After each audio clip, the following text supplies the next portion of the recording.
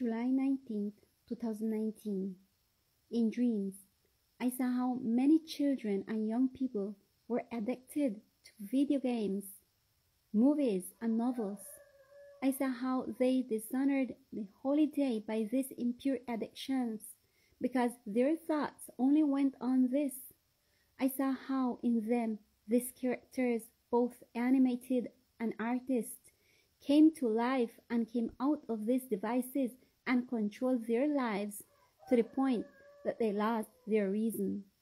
My companion said, Clean, clean the camp because no rain will come where it is done like that. I saw how many adults, unconvinced, and even the simulators of a supposed revival, were irremissibly outside the divine refreshment, and with great crying, bitterness, and evil anger, they were faithful enemies of the residue accepted by God, said my companion. Advance, advance, advance. The time is almost here.